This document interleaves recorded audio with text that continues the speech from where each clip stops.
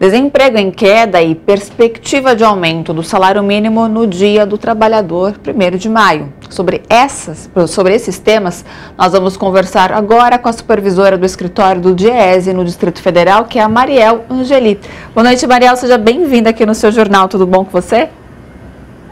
Tudo bem, boa noite, obrigada pelo convite. Bom, Mariel, segundo o IBGE, né, a taxa de desemprego ela atingiu 8,1% no trimestre até novembro de 2022. Esse é o menor nível né, para o trimestre desde 2014, quando era de 6,6%.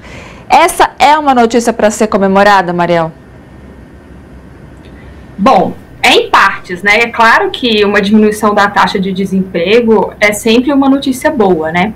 mas o mais importante é a gente observar por que esse desemprego está caindo, né? Que tipo de empregos estão sendo gerados. E aí que a gente tem uma situação muito mais complexa, né?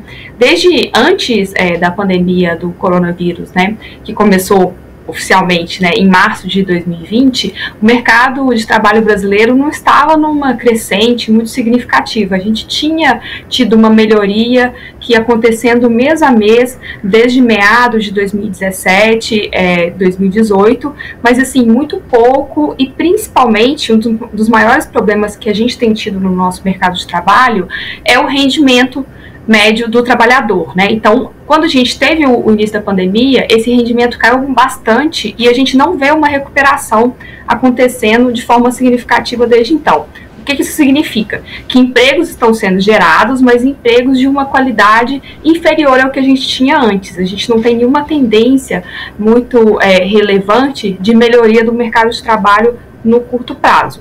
Um outro problema também que a gente tem, é que essa, essa taxa de desemprego esconde, é que a gente tem um desemprego entre os mais jovens, são aquelas pessoas de até 24 anos, muito mais elevada. É uma taxa de 18% atualmente também veio caindo nos últimos trimestres, mas é muito maior do que a média nacional, né? E além disso, a taxa de desemprego das mulheres também é maior do que a média nacional.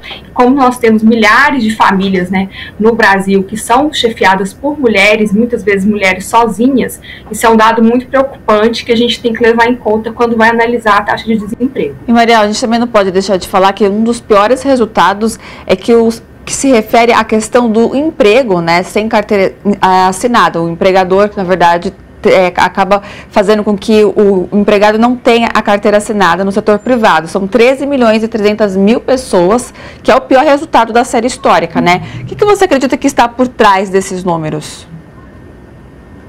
É muito, é, devido a essa, essa questão do nosso mercado de trabalho, né, não estar aquecido como a gente gostaria, né? E isso tem muito relação, obviamente, né, com o que está acontecendo na nossa economia, né? 2022 foi um ano de recuperação, digamos assim, com relação ao que aconteceu em 2021, em 2020, mas não foi uma recuperação extraordinária, em primeiro lugar, e a nossa economia é muito baseada no setor de serviços, que emprega a maior parte dos brasileiros, mas é um setor que tem muitas, é, muitas, muitos disparates. Então, você tem rendimentos muito baixos, rendimentos muito altos convivendo, e os rendimentos baixos, em geral, estão ligados ao trabalho informal, né? Como você falou, a gente tem um número elevadíssimo de brasileiros no, no mercado informal, o que isso é ruim porque os estudos mostram que esses é, brasileiros são os que têm rendimento mais baixo. Além disso, eles não estão protegidos em caso de acidente, não estão protegidos numa situação de invalidez e nem na situação de aposentadoria, né? Porque não contribui para a previdência.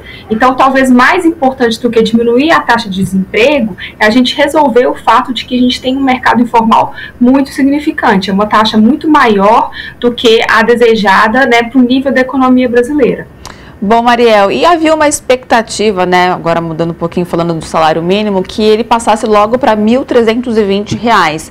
Mas a expectativa agora é em 1 de maio. O que, que isso significa para a economia e em especial para quem ganha um salário mínimo, né, esse aumento agora?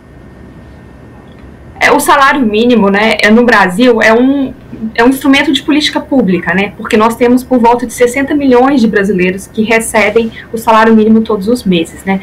Desse valor, mais ou menos, é, desse grupo, mais ou menos 36 milhões são trabalhadores e 24 milhões são aposentados é, do INSS, né? Então, qualquer discussão do salário mínimo é uma discussão grandiosa, né? Porque envolve tantas pessoas e envolve o impacto que isso tem na economia, né?